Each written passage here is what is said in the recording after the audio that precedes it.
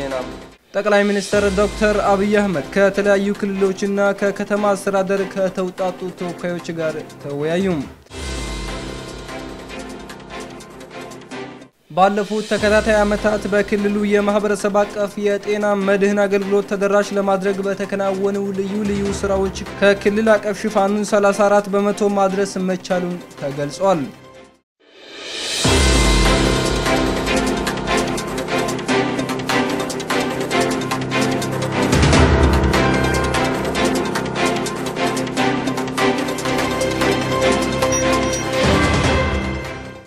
ሰላም ጤና ይስጥልን። ዕለተ ማክሰኞ የካቲት 19 2016 የተከበራችሁና የተወደዳችሁ የአፋር ቴሌቪዥን ተመልካቾቻችን የተለያዩ የሀገር ውስጥና የውጭ ዜናዎቻችን ወደ እናንተ የሚደርሱበት ሰዓት ላይ ደርሰናል።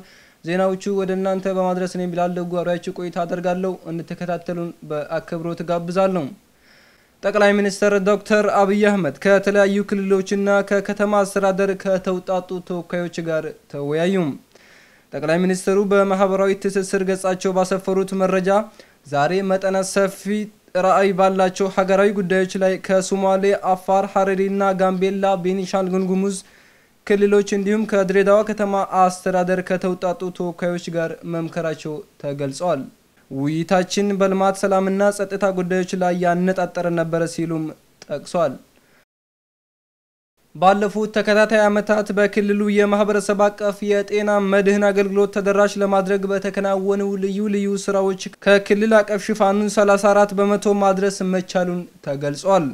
በንቅናቄ መድረኩ 44 ወረዳዎችና 8 ከተማ አስተዳደሮች የተውጣጡ ባለ ድርሻ አካላት የተሳተፉበት ክልላዊ የንቅናቄ መድረክ በሰመራ ከተማ ተካሂደዋል። መሐመዱ ሊሳ እንደሚከተሉ ያቀርበዋል። የአፋር ክልል የማህበረሰብ አቀፍ የጤና መድን የ2015 ዓመት አፈጻጸምና የ2016 የንቅናቄ መድረክ ተካሄደ። በንቅናቄ መድረኩ ላይ ከ44 ወረዳዎችና 8 የከተማ አስተዳደሮች የተውጣጡ ባለድርሻ አካላት የተሳተፉበት መድረክ በሰመራ ከተማ ተካሂዷል። በመድረኩ ላይ የብልጽግና ፓርቲ የአፋር ክልል ቅርንጫፍ ጽህፈት ቤት ኃላፊ አቶ ዒሴ አደም፣ የኢትዮጵያ ጤና መድን አገልግሎት ምክትል ዋና ዳይሬክተር ወይዘሮ የአምሮት አንዱ አለም፣ በምክትል ርዕሰ መስተዳድር ማዕረግ የማህበራዊ ክላስተር አስተባባሪ አሚና ሴኮ፣ የአፋር ክልል ጤና ቢሮ ኃላፊ አቶ ያሲን ሐቢብና ሌሎች ባለድርሻ አካላት ተገኝተውበታል። በንቅናቄ መድረኩ ላይ ንግግር ያደረጉት የብልጽግና ፓርቲ የአፋር ክልል ቅርንጫፍ ጽህፈት ቤት ኃላፊ አቶ ዒሳ አደም እንደተናገሩት የማህበረሰብ አቀፍ የጤና መድን አገልግሎት ለአርብቶ አደሩ ማህበረሰብ ያለው ሚና የጎላ በመሆኑ በቀጣይ ተጨማሪ ወረዳዎችን ለማካተት የሚሰሩ ስራዎች ተጠናክረው መቀጠል እንዳለባቸው ተናግረዋል። ኑመታ ለፈድንታህተንናል አፊያት ጊያነመታ የማህበረሰባችንን ጤና ለማስጠበቅ የማህበረሰብ አቀፍ የጤና መድህን ሚናው የጎላ ነው። በዚህም ፕሮግራም እንደ መንግስት በተሰጠው ትኩረት ከሁለት ወረዳ ተነስቶ 15 ወረዳዎችን ማድረስ ተችሏል። የማህበረሰብ አቀፍ የጤና መድህን አገልግሎት ለአርብቶ አደር ለሆነው ማህበረሰባችን የጤና እክል ሲያጋጥመው እንስሳቶችን በመሸጥ ለመታከም በሚያደርገው ጥረት የሚያጋጥሙ ተግዳሮቶችን ለመቅረፍ የሚረዳ ነው። በተጨማሪም የማህበረሰብ አቀፍ የጤና መድህን አባልነት መዋጮን በአግባቡ በመሰብሰብና ለማህበረሰቡ አገልግሎት መስጠት ይጠበቅብናል። ፕሮግራሙ በ2016 በጀት ዓመት 15 አዲስ ወረዳዎችን ለማካተት በሚካሄዱ ስራዎች ሁሉም ኃላፊነቱን በአግባቡ መወጣት ይኖሩበታል። የኢትዮጵያ ጤና መድን አገልግሎት ምክትል ዋና ዳይሬክተር ወይዘሮ የአምሮት አንዱ አለም እንደገለጹት በክልሉ በሁለት ወረዳዎች ተጀምሮ በአሁኑ ሰዓት በ17 ወረዳዎች እየተተገበረ ያለው የጤና መድን በዚህ ፍጥነት ውጤት ማምጣቱ አመራሩ በቁርጠኝነት ህዝቡን በማስተባበር ያከናወነው ተግባር ለሌሎች በተሞክሮነት የሚቀርብ መሆኑን ተናግረዋል። እንግዲህ በክልል ደረጃ ጥሩ መልካም የሚባሉ በርካታ ጉዳዮች አሉ የምናያቸው ያለውን ስራውን በባለቤትነት ወስዶ እንደተባለው 2012 ላይ በአንድ ወረዳ ተሞክሮ አሳይታ ላይ ተጀምሮ በአሁኑ ደረጃ ወደ 15 ወረዳዎች አገልግሎቱን እየሰጡ ነው ያሉ። በቀጣይ ደግሞ እንግዲህ በዚህ በ2016 ተጨማሪ 15 ወረዳዎችን የከተማ የገጠር ወረዳዎችና ከተማ አስተዳደር እነሱን ለማስገባት ነው እቅድ የተያዘ። እንግዲህ ይህንን እቅድ በሚፈለገው level እንግዲህ መቶ percent ለማምጣት ስራዎችን በባለቤትነት ይዘው በየደረጃው ያለው የፓርቲ ጽህፈት ቤትና አመራሮች የዞንና የወረዳ አመራሮች ስራውን ይዘው መምራት እንዲችሉ የሚያደርግ የውይይት መድረክ ነው። የአፋር ክልል ጤና ቢሮ ኃላፊ አቶ ያሲን ሐቢብ የማህበረሰብ አቀፍ የጤና መድን ተጀምሮባቸው በአገልግሎት ላይ የሚገኝባቸው የጤና ተቋማትን አቅም በማጠናከር ለማህበረሰቡ አስፈላጊውን አገልግሎት ለመስጠት እየተሰራ እንደሚገኝ ተናግረዋል። tatre yani yan lammal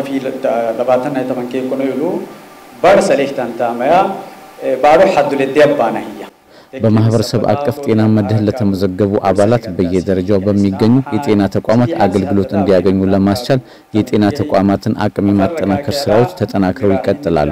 በ2015 በጀት ዓመት ለማህበረሰብ አቀፍ የጤና መድህን ከፍተኛ ትኩረት በመስጠት በወረዳዎች የነበረውን የጤና መድህን ስራን ወደ 15 ወረዳዎች በማሳደግ በዚህም ከ70 ሺህ በላይ የሚሆኑ የማህበረሰብ ክፍሎችን ማዳረስ የተቻለ ሲሆን ከ17 ሚሊዮን ብር በላይ ሀብት ማሰባሰብ ተችሏል።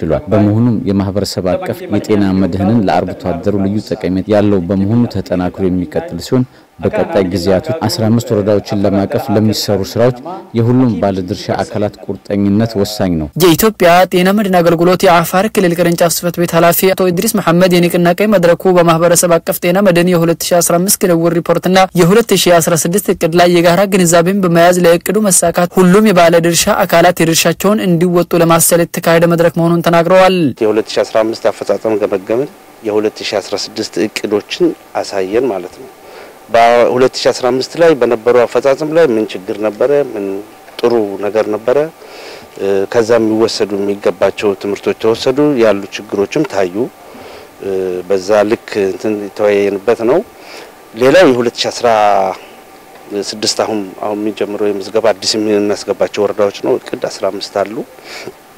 እነዚህ 15 ወረዳዎችን ስናስጀምር ቅድመ ሁኔታዎችን ያሟሉ ወረዳዎች ናቸው። ሌሎችም ከዚህ እቅድ ውስጥ የሌሉ እንዳውም በእቅዳችን መታሰር የለብንም። ከእቅዳችን በላይ መሄድ መቻል ከተቻለ መሄድ አለብን። እንግዲህ በመድረኩ ትልቁ አሁን የምንጠብቀው የዚህ መድረክ ዋና ዓላማው ባለፈው ዓመት የሰራነውን ድል በአንድ ጊዜ ነው 13 ወረዳ ያስገባ ነው። አሁን ደግሞ በአንድ ጊዜ ወደ 15 ከተቻለ ከዛ በላይም ነው ወደ ስራ የምንገባበት ነው ማለት ነው እና ምናልባት ከአንድ ወር በኋላ በውጤት የምንገናኝበት ነው። በንቅናቄ መድረኩ ላይ የተሳተፉ አመራሮች በ2015 ዓ ም የአፈጻጸም ሪፖርት ላይ የታዩ ክፍተቶችን በማረምና ለ2016 እቅድ እንዲሳካ የድርሻቸውን እንደሚወጡ ተናግረዋል። አድዋን ለዘላቂ ሰላምና ለጠንካራ ሀገረ መንግስት ግንባታ በሚል መሪ ሀሳብ የውይይት መድረክ ተካሄደም። አድዋን ለዘላቂ ሰላምና ለጠንካራ ሀገረ መንግስት ግንባታ በሚል መሪ ሀሳብ የክልሉ ሰላምና ጸጥታ ቢሮ በክልሉ ወጣቶችና ስፖርት ቢሮ ጋር በጋራ በመሆን በሰመራ ሎጊያ ከተማ ወጣቶች ጋር የውይይት መድረክ በሰመራ ከተማ ተካሂደዋል። አማን የሱፍ በተከታይነት ይዞታል። የክልሉ የሰላምና ጸጥታ ቢሮ ከክልሉ ወጣቶችና ስፖርት ቢሮ ጋር በጋራ በመሆን አድዋ ለዘላቂ ሰላምና ለጠንካራ ሀገረ መንግስት ግንባታ በሚል መሪ ሀሳብ ከሰመራ ሎጊያ ከተማ ከተውጣጡ ወጣቶች ጋር የማጠቃለያ የውይይት መድረክ በሰመራ ከተማ አካሂደዋል። የአሁኑ ትውልድ የአንድነትና የአብሮነት ኃይልን ከአርበኞች አባቶቻችን በመማር የአድዋ ድል መንፈስን በይበልጥ ተቀብሎ ሰላምና ጠንካራ ሀገርን ለመገንባት መስራት እንዳለበት ተመላክተዋል። በማጠቃለያ መርሃ ግብሩ ላይ የተገኙት የአፋር ክልል የሰላምና ጸጥታ ቢሮ ምክትል ኃላፊ የሆኑት አቶ ሁሴን መሐመድ ወጣቱ ከቀደምት አያቶቹ የአሸናፊነት ሚስጥርን በአግባቡ ተገንዝቦ ለዘላቂ ሰላምና ለሀገራዊ እድገት የሚጠበቅበትን ከፍተኛ ሚና እንዲወጣ የሚያስችሉ ስራዎች በየደረጃው እየተሰራ መሆኑን ገልጸዋል። የዛሬው የመድረኩ ዓላማው የአድዋ ድል ዘላቂ ሰላም ሀገረ መንግስት ግንባታ በሚል ነው። ስለዚህ ወጣቱ ትልቁ ነገር አጠቃላይ በሁሉም ሀገር ደረጃ እየተደረገ ነው። የዚህ የሰላም ሀገረ መንግስት ግንባታ በሚል ስለዚህ አንድ ሀገር ላይ የመጀመሪያው ወጣቱ ትልቅ ሚና አለው። የሀገርን ለመገንባት ዘላቂ ሰላምን ለማምጣት ስለዚህ ይህን በተግባራዊ ተግባራዊ ለመሆን ለማድረግ በየወረዳችን በየቀበሌ በሀገር በክልል ደረጃ እንደዚሁ እየተደረገ ነው ያለው ውይይቶቹ። ስለዚህ ወጣቱ ምን ምን መሰል አለበት? ቀጣይ ትውልድ ናቸው፣ አገር ተረካቢ ናቸው። መንግስትን በምንድን ነው ማገዝ ያለበት? አድዋ ድል ምሳሌ መውሰድ አለበት። የተለያዩ አመለካከቶች ነበሩ፣ ግን አንድ ሆነው ዘመናዊ መሳሪያ ያላቸው ሰው ጋር ተጋጅተው ግፊት አድርገው አሸንፈዋል። ስለዚህ አሁን ያለው ሁኔታዎች እንደ ሀገርም እንደ ክልላችንም ያሉ ሁኔታዎች ላይ ወጣቱ ልዩ ሚና መጫወት አለበት። የክልሉ የወጣቶችና ስፖርት ቢሮ ምክትል ኃላፊ የሆኑት አቶ ኦመር መሐመድ በበኩላቸው ወጣቱ የሀገሩን ሰላምና ብልጽግናን ለማረጋገጥ የሚጠበቅበትን የራሱን አሻራ በመወጣት የአባቶቹን ታሪክ ማስቀጠል ይገባል ብለዋል። እነዚህም ፕሮግራሞቻችንን ከጀመር ሰንብተናል። በየወረዳዎቹ በየከተማ አስተዳደሮቹ ስናካሄድ ቆይተን ዛሬ በክልል ደረጃ የማጠቃለያ ፕሮግራም ነው የምናደርገው። ወጣቱ ያለፉ ታሪኮችን በመገንዘብ በመረዳት ዛሬ ካለው የሀገር ግንባታ ላይ ደግሞ የራሱ ሚናና አሻራን እንዲያስቀምጥና እንዲወጣ ነው በዋናነት ማለት ነው። ስለዚህ ይሄ ማለት ደግሞ ዘላቂ ሰላም ያስፈልጋል። በዚህ ዘላቂ ሰላም ደግሞ የመጀመሪያው ዋናው ተጎጂው እሱ ነው። እንዲሁም ደግሞ ሰላሙንም በአግባቡ ለማምጣትም ቀዳሚ እሱ ከመሆኑ ጋር ተያይዞ ይህንን የተረዳና የተገነዘበ ወጣት እንዲኖር ነው እንግዲህ ግንዛቤ እየፈጠርን ያለ ነው። እንግዲህ በመድረኮቹ ላይ በአጠቃላይ ባየነው ሁኔታ ላይ ወጣቱ ከፍተኛ ሚና እንዳለው የተረዳበትና በቀጣይ የሀገረ መንግስት ግንባታ ላይ ደግሞ አሻራውን በግልጽና በጉልህ ሊያሰርፍ በሚችል መልኩ መግባባት ላይ የተደረሰበት ሁኔታ ነው እንግዲህ ያለው። ቅድመ አያቶቻችን ለሀገራችን ሰላም ሲሉ በአንድነት ወራሪ መመከታቸውን አንስተው ይህንን ድል ወጣቱ በተለያዩ የልማት እንቅስቃሴዎች ላይ መድገም አለባቸው ሲሉ የሰላም ሚኒስቴር የብሔራዊ በጎ ፈቃድ ክትትልና ድጋፍ ከፍተኛ ባለሙያ የሆኑት አቶ ተመስገን ሙሉጌታ ተናግረዋል። በተለይ አድዋ ላይ አያቶቻችን አባቶቻችን ለአገራቸው ሰላም ስሉ ነው ወራሪዎችን ለመመከት በጋራ ልዩነታቸውን በመተው በጋራ ጠንካራ ትግል አድርገው ነው ይሄን ሀገር በሰላም እንድኖር ያደረጉንልና ወጣቶች ደግሞ ይሄንን ድል እንዲደግሙት ነው የምፈልገው። በሀገራቸው ሰላም ላይ፣ በሀገራቸው አንድነት ላይ፣ በሀገራቸው ብልጽግና ላይ የራሳቸውን ድርሻ እንዲወጡ ይህን አድዋን እንደ መነሻ basement አድርገው እንዲጠቀሙት ነው እና የተፈለገው በዚህ ረገድ በሁሉም ዞኖች፣ ወረዳዎች ጥሩ ውይይት እንደተደረገ ነው እና ይሄ ደግሞ ለወጣቱ እጅግ በጣም ጠቃሚ ነው የሚል እምነት ነው ያለኝ ማለት ነው። በመጨረሻም ተሳታፊዎቹ ቀደምት አያቶቻችን በአድዋ የሰሩትን አኩሪ ታሪካዊ ገድል ትምህርት በመውሰድ የሀገራቸውን ሰላሟና ሁለንተናዊ ደህንነቷ ተረጋግጦ ለመጪው ትውልድ የተሻለችና የበለጸገች ኢትዮጵያን ለማስረከብ ከመቼውም ጊዜ የበለጠ ተግተን በመስራት የተጣለባቸውን ኃላፊነት ለመወጣት ዝግጁ ነን ብለዋል። የአድዋ ድል በዓል በኢትዮጵያውያን ዘንድ በየዓመቱ የካቲት 23 ቀን በታላቅ ድምቀት እንደሚከበር ይታወሳል። በዓሉም በዚህ ዓመት ለ128ኛ ጊዜ የሚከበር ሲሆን ይህን በተመለከተ የተለያዩ ያነጋገርናቸው አንዳንድ የሎጊያ ከተማ ነዋሪዎች ትውልዱ ከአድዋ ድል ጀግኖች ጽናትና አንድነት እንዲሁም አልሸነፍ ባይነትን በመውረስ ሀገሩን ከድህነትና ኋላ ቀርነት ለማላቀቅ መጣር እንደሚጠበቅበትም ጠቁሟል።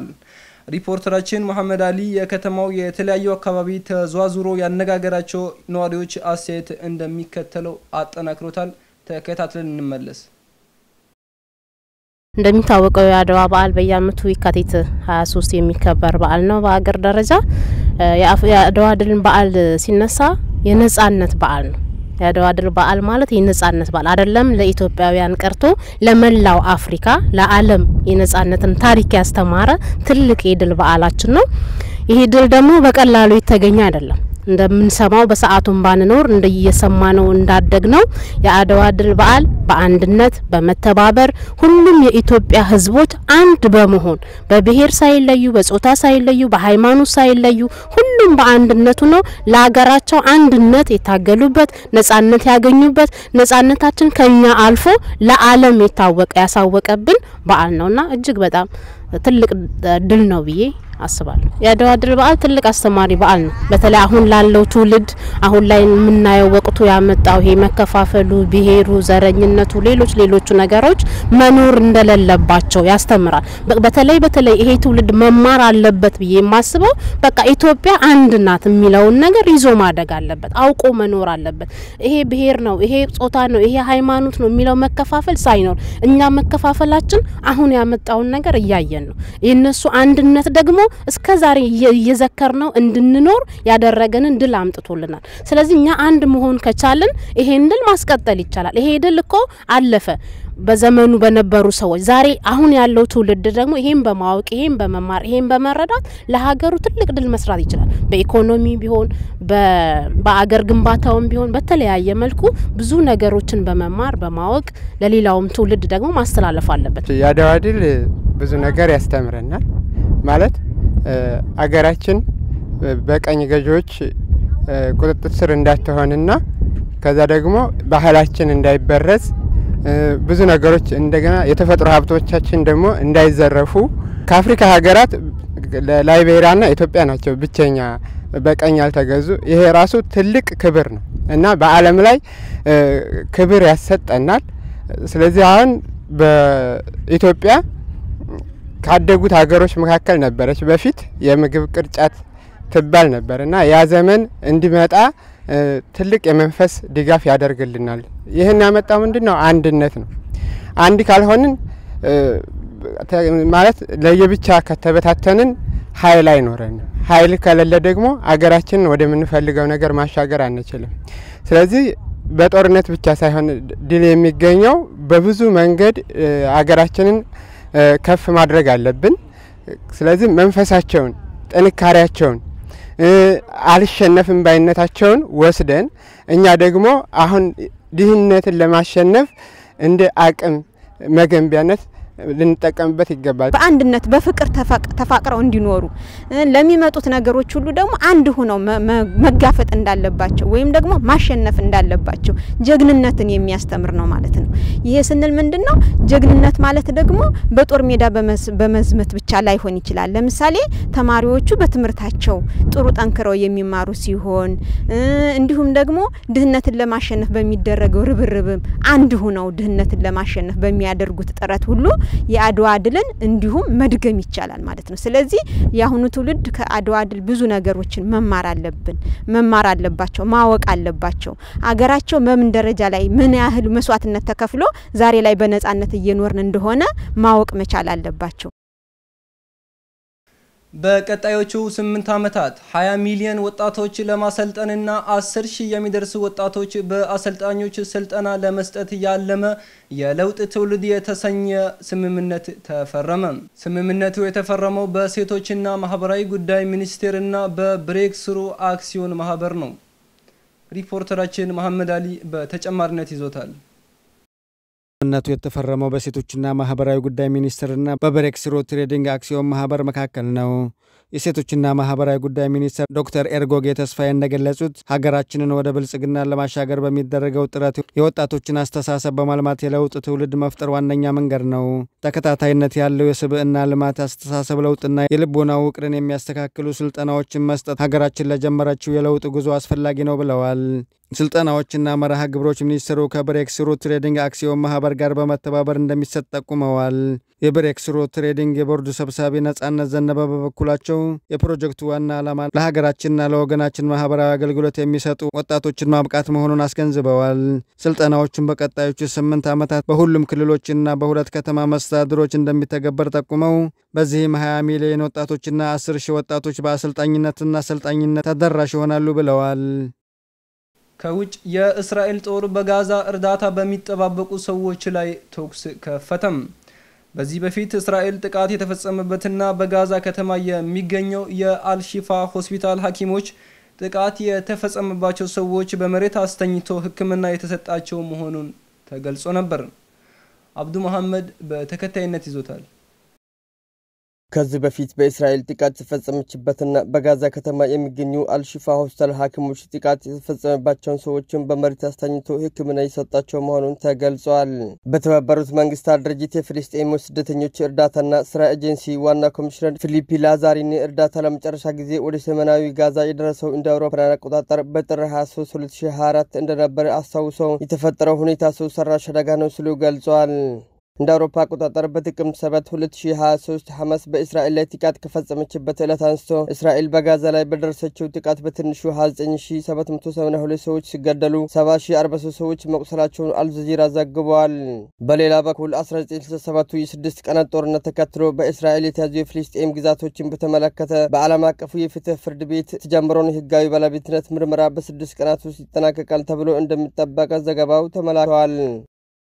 ኩራን ተመልካቾቻችን ዜናዎቻችን እንደቀጠሉ ናቸው። አሁን ደግሞ ከስፖርት ምንጭ ወዳገኘናቸው መረጃዎቻችን ስናልፍ በዓለም የቤት ውስጥ አትሌቲክስ ሻምፒዮና የሚሳተፈው የኢትዮጵያ ልዑክ ቡድን ወደ ግላስኮው አቀናም። በ19ኛው የዓለም የቤት ውስጥ አትሌቲክስ ሻምፒዮና የሚካፈለው የኢትዮጵያ ልዑክ ቡድን ወደ ግላስኮ አቅንቷል። 19ኛው የዓለም የቤት ውስጥ አትሌቲክስ ሻምፒዮና ከፈረንጆቹ መጋቢት አንድ እስከ 3 ቀን 2024 በግላስጎ እንደሚካሄድ ይታወቃል። ኢትዮጵያን ወክሎ በውድድሩ ለሚካፈለው የልዑካን ቡድኑ ዛሬ እኩለ ቀን ላይ በቦሌ ዓለም አቀፍ አውሮፕላን ማረፊያ ሽኝት ተደርጎለታል። በሽኝት ስነ ስርዓቱም የኢትዮጵያ አትሌቲክስ ፌዴሬሽን ፕሬዝዳንት ረዳት ኮሚሽነር ደራርቱ ቱሉን ጨምሮ የተለያዩ አመራሮች ተገኝተዋል። ውድ ተመልካቾቻችን ዜናዎቻችን በዚሁ አጠናቀናል። ዜናዎቹ ወደ እናንተ በማድረስ እኔ ቢላል ደጉ አብያችሁ ቆይታ አድርጌ ነበር። ከቀሪ የአፋር ቴሌቪዥን ፕሮግራሞች ጋር ሰናይ ቆይታን ተመኘሁ።